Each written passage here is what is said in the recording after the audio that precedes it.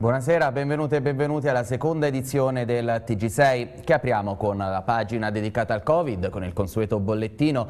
Quest'oggi sono 15 i nuovi casi in Abruzzo, due morti, 79 guariti e quest'oggi la provincia più colpita è quella di Chieti. Vediamo. Sono 15 nuovi casi di Covid in Abruzzo, il più giovane tra i contagiati ha 8 anni, il più anziano ne ha 71. Di questi 12 sono residenti in provincia di Chieti, 2 in quella dell'Aquila, uno nel Teramano, mentre nessun nuovo caso è stato registrato nel Pescarese. È quanto emerso dall'analisi di 1150 tamponi molecolari per un tasso di positività dell'1,3%. Il bilancio dei pazienti deceduti registra due casi e sale a 2482. Si tratta tratta di un 67enne della provincia di Chieti e di una 79enne della provincia dell'Aquila. Considerando anche gli ultimi 79 guariti, attualmente in Abruzzo sono 5.493 i positivi accertati, 66 in meno rispetto a ieri. I ricoveri, in rapida flessione su base settimanale, aumentano di 3 unità rispetto a ieri, passando da 147 a 150 posti letto occupati, di cui oltre il 90% in terapia non intensiva. Nel dettaglio dettaglio 137 pazienti, 4 in più rispetto a ieri, sono ricoverati in ospedale in area medica, 13 sono quelli in terapia intensiva, 1 in meno rispetto a ieri, mentre gli altri 5.343 positivi accertati, 69 in meno rispetto a ieri, sono in isolamento domiciliare con sorveglianza attiva da parte delle ASL. E con questo trend, dopo Molise, Sardegna e Friuli Venezia Giulia, dal prossimo 7 giugno anche la nostra regione entrerà ufficialmente in zona bianca. Tra le regole che hanno caratterizzato la pandemia decade completamente in zona bianca quella del coprifuoco. Stefano Recanati. Solo sette giorni e poi anche l'Abruzzo sarà per la prima volta da inizio della pandemia zona bianca, un primo passo verso la normalità a partire dal coprifuoco che verrà abolito, dunque nessun obbligo di rientro verso le proprie abitazioni alle ore 23.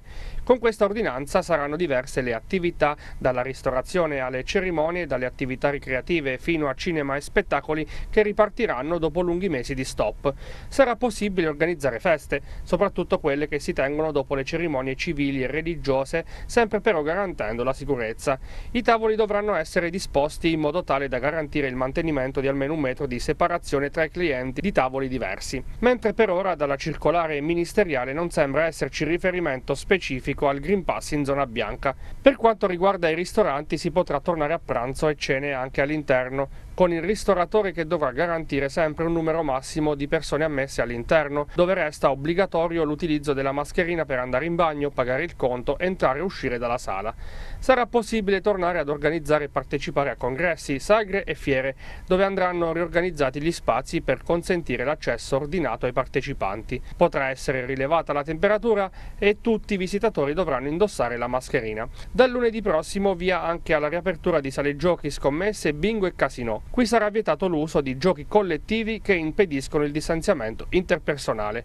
Ripartenza anche per piscine termali e centri benessere, dove è fortemente consigliata la prenotazione, sia l'utilizzo di spogliatoi e docce, ma garantendo la distanza di almeno 2 metri, mentre all'aperto bisognerà garantire almeno 10 metri quadrati per ogni ombrellone. Comunque anche in zona bianca resta in vigore l'obbligo di distanziamento interpersonale, con l'obiettivo di evitare gli assembramenti, così come l'uso obbligatorio della mascherina all'aperto quando non si potrà mantenere la distanza e al chiuso nei luoghi pubblici prevista la sanificazione nei luoghi chiusi e una corretta areazione. Il capogruppo del PD in Regione, Silvio Paolucci, critica la gestione della sanità da parte della giunta regionale denunciando un arretramento dell'Abruzzo sui livelli essenziali di assistenza. Il servizio è di Paolo Renzetti. Critiche arrivano dal centro-sinistra alla gestione della sanità nella nostra regione da parte della giunta Marsirio.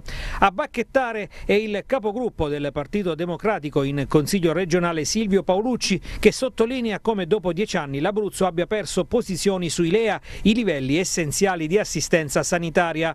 Per il capogruppo del Partito Democratico la causa è soprattutto la mancanza di un vero e proprio piano sanitario.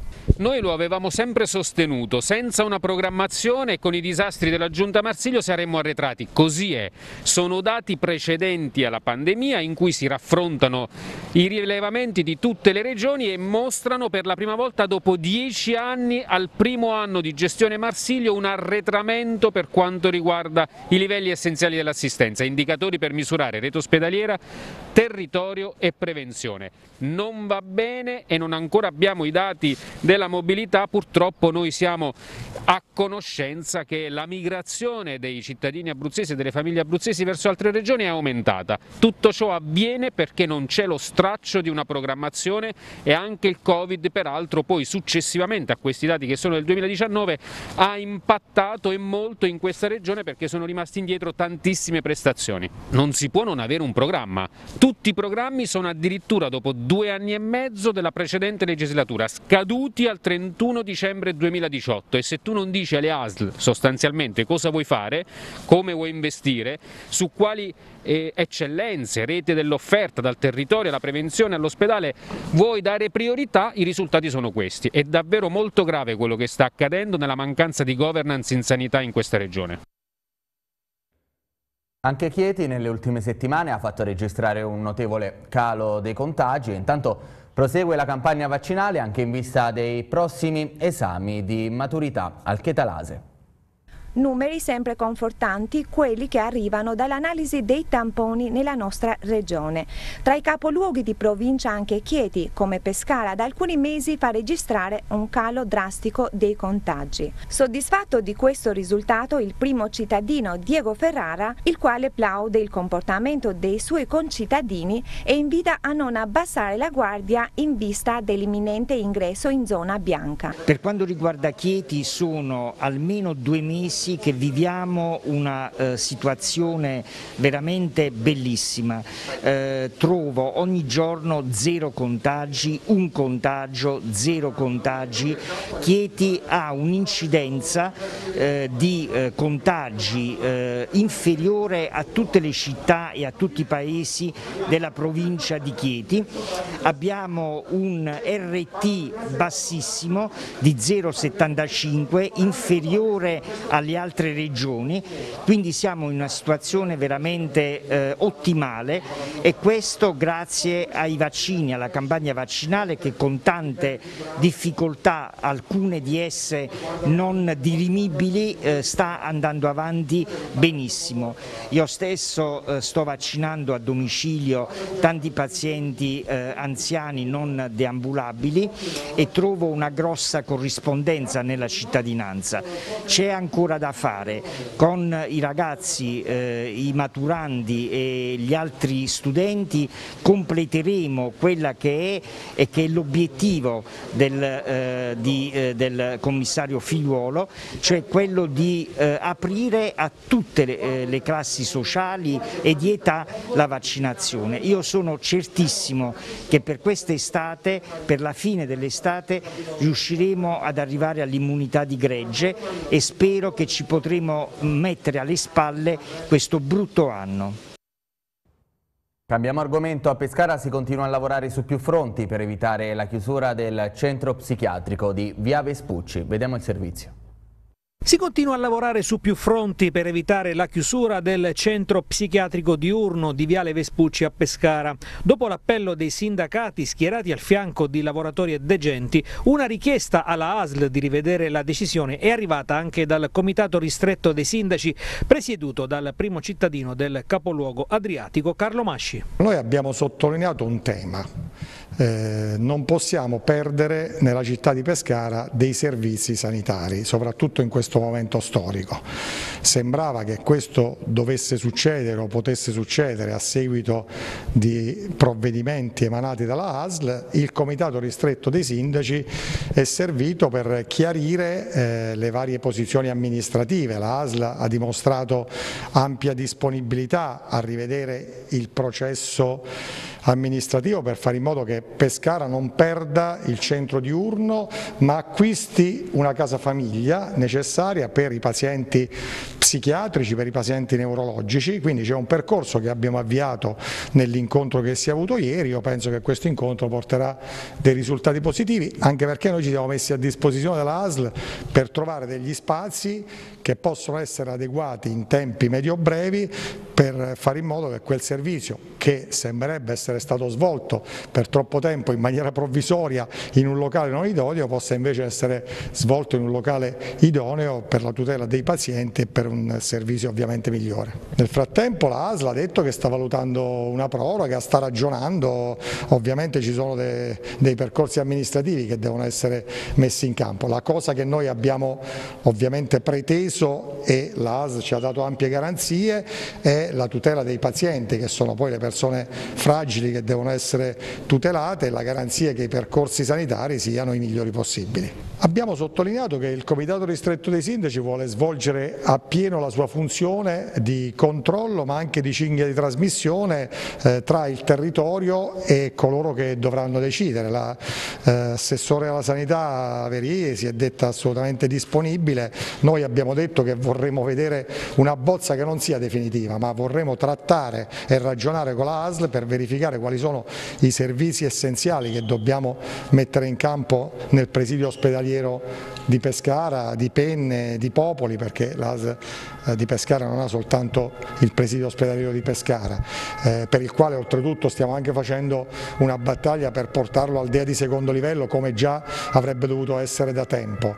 Eh, la Veri si è dichiarata disponibile, eh, quindi ci ragioneremo sicuramente, eh, ci siamo eh, detti che faremo altri appuntamenti a breve proprio per verificare bene il piano di riordino della sanità ospedaliera. L'Abruzzo è la prima regione in Italia per spesa pro capite destinata al gioco d'azzardo e Teramo è la provincia abruzzese con il numero più alto di giocatori d'azzardo, dati gravissimi che hanno indotto l'ASL teramana ad istituire una helpline anonima con medici e psicologi a supporto di chi eh, soffre di questo disturbo comportamentale. Vediamo il servizio di Tania Bonici Castelli.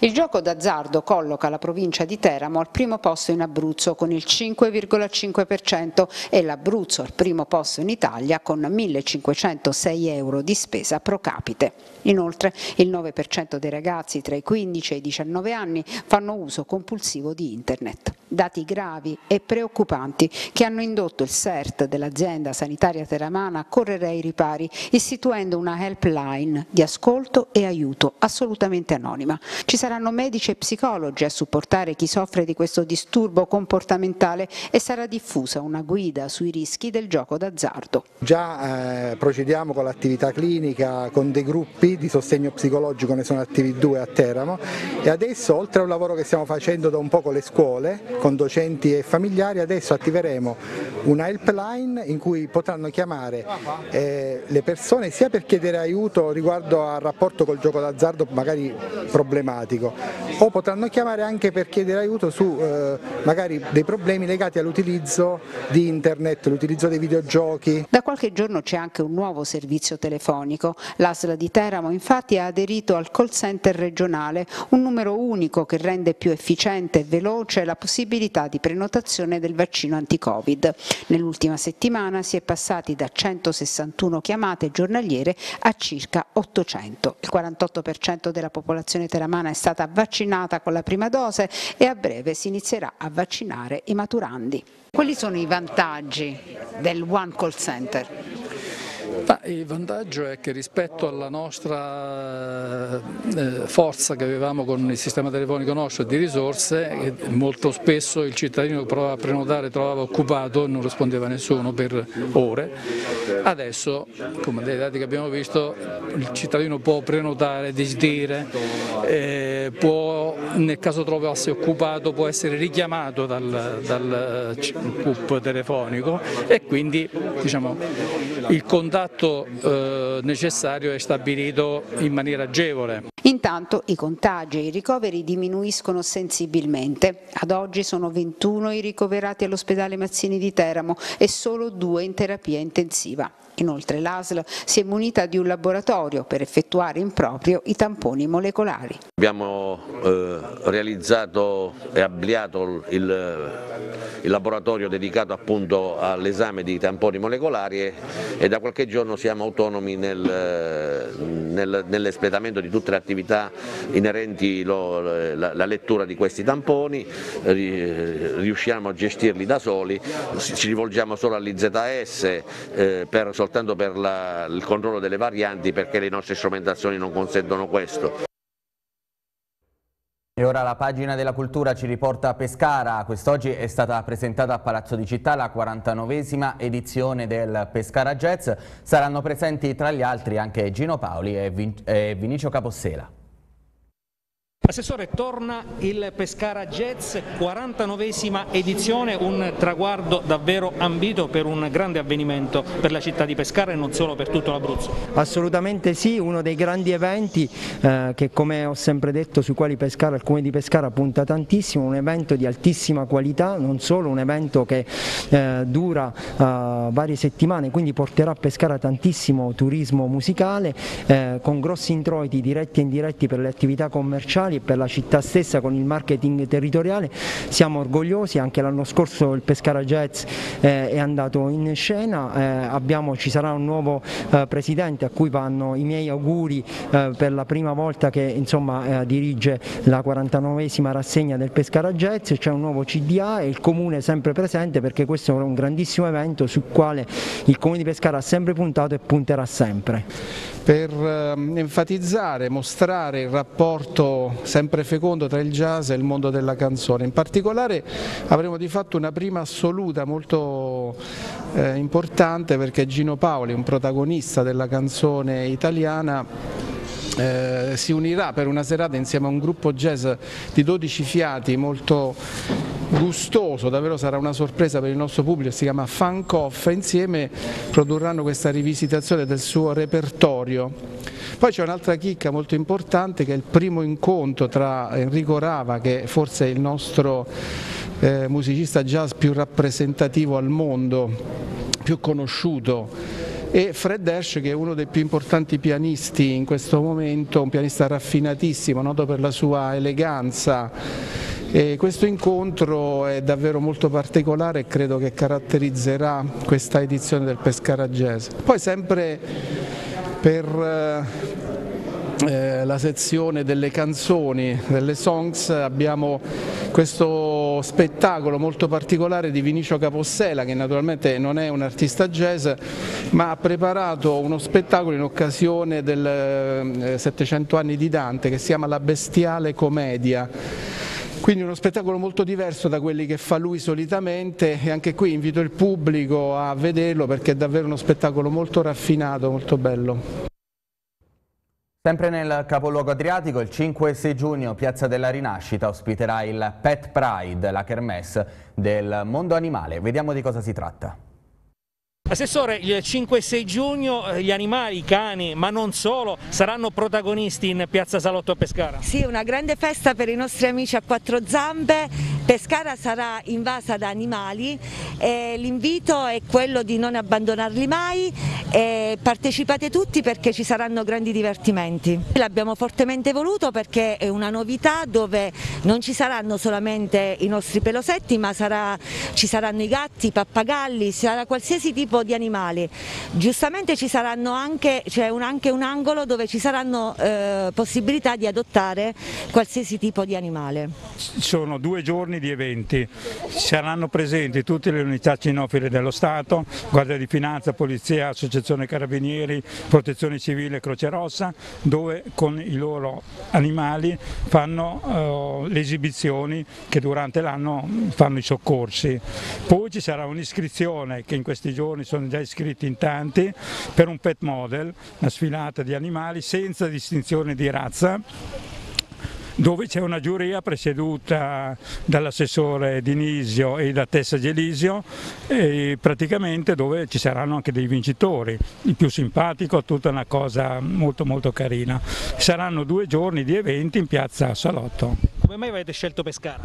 Noi ne facciamo una all'anno di queste manifestazioni in giro per l'Italia. Quest'anno è toccata Pescara anche perché mm, cioè, ce l'hanno richiesta già l'anno scorso, poi causa il Covid è stata rinviata e quest'anno abbiamo dato la precedenza a Pescara.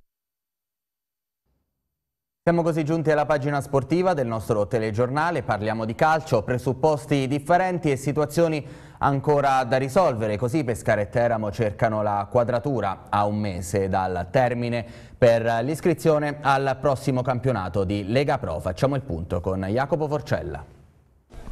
Lo stallo prima del momento delle decisioni. Pescara e Teramo, pur con presupposti diversi, vivono momenti paragonabili dal punto di vista della provvisorietà dell'attuale situazione. Quello che c'è di fatto è ancora quello che è rimasto rispetto alla stagione appena conclusa e il resto sono ancora idee, solo idee per il futuro, perché il 28 giugno, termine ultimo per l'iscrizione alla prossima Lega Pro, si avvicina e in ogni caso la struttura sportiva del 2021-2022 andrà comunque organizzata in qualche modo. In casa bianca-azzurra quello che è certo è che va individuata la figura del direttore sportivo, mentre a Teramo, pur se in scadenza il 30 giugno, Sandro Federico potrebbe comunque essere confermato. Questa è la prima sostanziale differenza tra due club che hanno strade diverse anche dal punto di vista concettuale.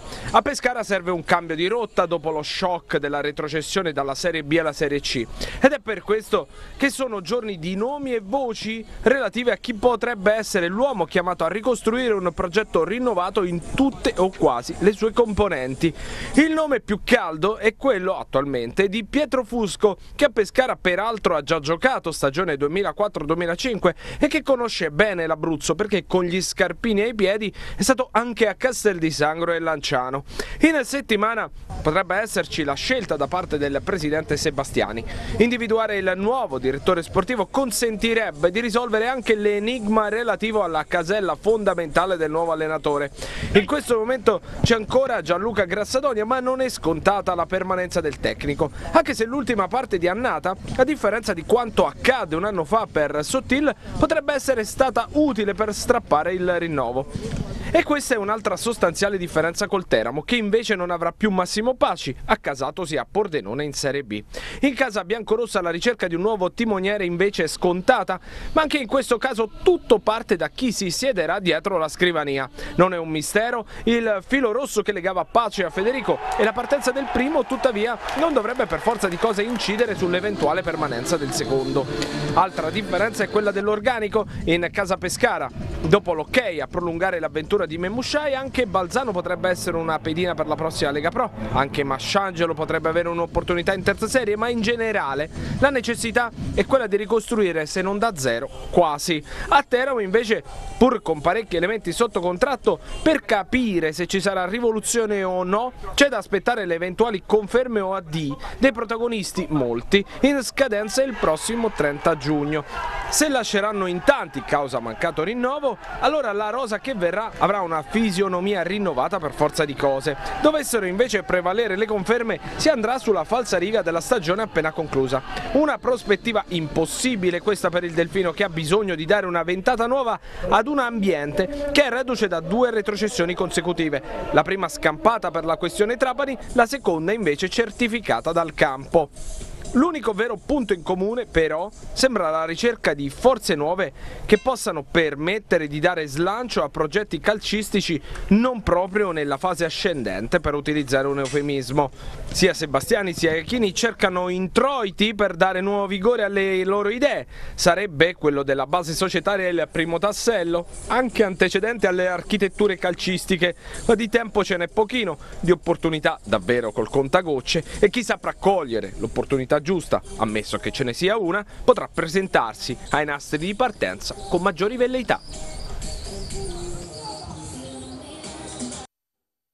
E a questo proposito per la stagione sportiva 2021-2022 la formazione dei gironi del campionato della Serie C avverrà secondo un criterio di composizione orizzontale nord-centro-sud e quanto ha stabilito il Consiglio direttivo della Lega Pro riunitosi questa mattina in videoconferenza. Alla base di questa decisione, votata all'unanimità, la necessità di contenere i costi, soprattutto dopo una stagione piegata dal coronavirus, facilitando gli spostamenti delle società e riducendo il il più possibile le distanze per le trasferte. La decisione del Consiglio direttivo è stata presa dopo un importante lavoro avviato a febbraio dalla Commissione per la composizione dei, gir uh, dei gironi che avvalendosi uh, del supporto di Cineca ha fornito una base scientifica con dati e proiezioni rispetto a tutte le ipotesi al vaglio. Andiamo in Serie D nel recupero della ventinovesima giornata del Girone F. Giulianova sconfitto al quinto Ricci Uh, da uh, l'Aprilia per 1-0. Rete decisiva di Vasco su calcio di rigore uh, nella ripresa anche se i giallorossi sono ormai certi della permanenza in categoria. Allora riviviamo le azioni salienti del match di ieri pomeriggio. Buon pomeriggio a tutti voi dal campo Quinto Ricci di Aprilia, da Carlo Edoardo Canepone. Stanno entrando in campo Aprilia e Real Giulianova, ma prima del, del, dell'inizio della gara verrà consegnata una targa al campione della Aprilia, Ruben Olivera, che come tutti ormai sapranno ha dato l'addio al calcio giocato, più di 400 presenze in carriera con 70 gol ha vissuto anni straordinari in Serie A, ha indossato la maglia della propria nazionale, l'Uruguay ha fatto innamorare Aprilia e i propri tifosi. Grazie di tutto Ruben, questa la targa che è consegnata a Ruben Olivera, un campione che ha giocato in grandi squadre, fischetto in bocca del signor Bruno Spina. Comincia la partita tra Aprilia e Real Giulianova, primo possesso in favore dei giallorossi. E gli strappa il pallone, attenzione perché recupera sulla tre quarti l'Aprilia, c'è un po' di spazio per Succi che fa con il sinistro, parata bassa di Mora, palla centrale, Barlafante sul sinistro, Barlafante si crea lo spazio, tiro smorzato, facile per Salvati, perde qualche metro il Giulianova che però rimane nei pressi dell'area, poi il tiro e il palo da parte di Massetti, improvviso il destro del numero 11 che ha colto impreparato Salvati che viene salvato dal palo, la Ghigna cerca lo spazio per il sinistro, ancora la Ghigna, fa tutto bene la Ghigna! Palla fuori di nulla, ma si prende tanti applausi dalla tribuna, Eric Laghigna, duplice fischio, si va al riposo con il risultato di Aprilia 0, Giulianova 0. Forcini stoppa il pallone, pensa al tiro, poi scarica dietro per il destro da parte di De Cerchio, palla alta, lontana dai pali. Eh, Bosi che mette giù, punta ancora Bosi, sterza contro sterza, poi si ferma, palla interessante e c'è il calcio di rigore per l'Aprilia, è andata a terra mi è sembrato pesone mentre arriva anche il giallo per eh, Caso Parte Vasco, intuisce Mora, ma non basta, l'Aprilia è avanti, realizza dal dischetto. Lorenzo Vasco, subentrato da 15 secondi al posto di Succi, si prende la responsabilità di battere il rigore e lo realizza battendo Mora al ventunesimo ormai del secondo tempo. D'Antonio, puntaglietti dietro per De Cerchio, fa partire il destro, palla larga non di molto. C'è spazio quindi per il Giulianova con Barlafante che tocca con il destro. E la palla scivola al lato di nulla. Grandissima chance per il Giulianova. 1, 2, 3 eccoli qua i tre fischi vince l'Aprilia 1-0 contro il Real Giulianova, decide il rigore di Vasco a metà ripresa, Aprilia che sale a quota 38 punti in classifica, Giulianova che rimane terzultima ma comunque salva a quota 28. Ancora Serie D è stato nuovamente rinviato il recupero tra Pineto e Castelnuovo che si sarebbe dovuto disputare dopodomani, mercoledì 2 giugno, eh, ma eh, rinviato per casi Covid nella squadra del Vomano. La stessa società del Castelnuovo ha fatto sapere in una nota che in questi giorni si stanno effettuando i tamponi eh, di uscita dal protocollo ASL e proprio mercoledì, dopo due settimane di stop, la squadra tornerà ad allenarsi al campo. L'obiettivo è tornare a giocare domenica nel match previsto dalla giornata di campionato in trasferta contro il Tolentino. Inoltre per consentire al campionato di terminare nel termine previsto del 20 giugno, il Castelnuovo Calcio ha dato disponibilità alla Lega Nazionale Dilettanti qualora fosse necessario e accettato dalle altre squadre per disputare ulteriori turni infrasettimanali di venerdì. Passiamo ora alla pallavolo, Matteo Bertoli è un nuovo eh, giocatore dell'Abba Pineto Volley, eh, la nuova mano pesante della pallavolo italiana, figlio del grande Franco Mano di Pietra, ex capitano della nazionale. Sarà un nuovo schiacciatore biancazzurro, un profilo di alto rilievo non solo per i suoi uh, 1,98 1,98 m d'altezza, ma per un campionato di spessore che sarà utilissimo alla causa teramana. Un'importante pedina a disposizione posizione di mister Rovinelli in vista della prossima stagione di Serie A3 Crede in Banca. Uh, classe 88 Bertoli ha disputato 312 partite in 12 stagioni tra A1, A2 e B1. In Abruzzo ha già indossato la divisa della Sieco Ortona. E questa era l'ultima notizia, eh, l'informazione tornerà alle ore 23, ma prima come tutti i lunedì alle ore 21 c'è il replay di Enrico Rocchi. Grazie e buona serata.